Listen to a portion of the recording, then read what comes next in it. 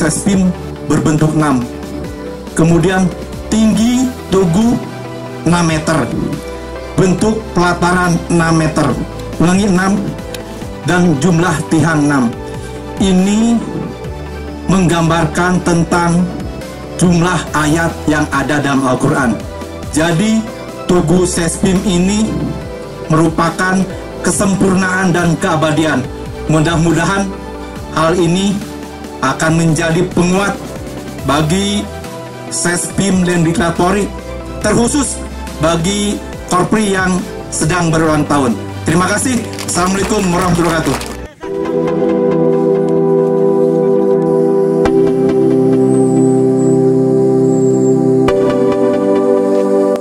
akan berikan kebaikan untuk Bapak Seslim penanamnya.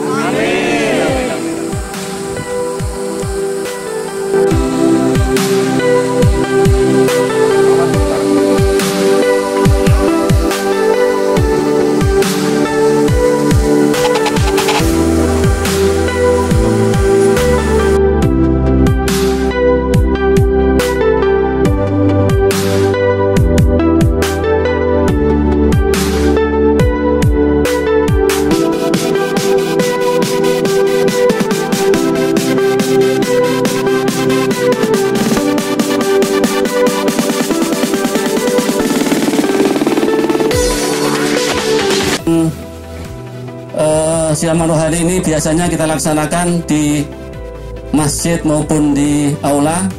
Mengingat eh, pada saat ini kita laksanakan di tempat terbuka. Tentunya kita harus maknai dan kita uh, gambarkan sebagai sesuatu yang kita sudah menginjak umur 51 ini berarti ya sudah menginjak masa-masa tua yang sama. Dengan di hadapan Allah itu Allah tidak melihat harta Tidak melihat jabatan Tidak melihat yang namanya kedudukan. Rasul menyampaikan Innallaha la yang turu suarikum walakin yang turu ila kulubikum Yang Allah akan nilai Yang Allah akan hargai adalah isi hati kita. Maka untuk itu saya tertarik sekali. Apa yang tadi disampaikan bahwa berusianya yang namanya bertambahnya di hari ulang tahun Korpi ini ada yang naik, ada yang turun, ada yang bertambah, ada yang berkurang. Yang perlu kita renungkan salah satunya adalah wa man nu'ammirhu nunakishu fi khalqi. Bertambahnya usia bukan semakin kakak Bertambahnya yang namanya usia bukan semakin lama dan panjang kita hidup di dunia, tapi semakin dekat, semakin habis umur dan usia kita. Maka perlu para sahabat kita renungkan apa yang tadi disampaikan oleh diri kita pribadi, bukan hanya slogan semata, bukan hanya sebatas kita hadir di sini, tapi harus menjadi zainun fi akhlak harus menjadi hiasan dalam akhlak kita.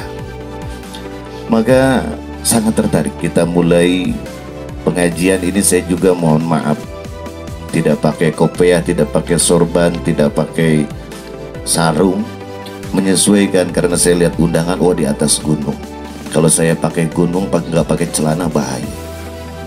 Ya, jadi ya saya menyesuaikan nggak pakai kopiah takutnya ada monyet yang ngambil kopiah saya. Jadi mohon maaf saya menyesuaikan dengan para bapak dan ibu sekalian.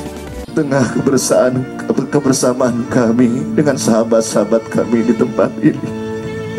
Di alam terbuka maka bukakanlah pintu hidayah kepada batin kami.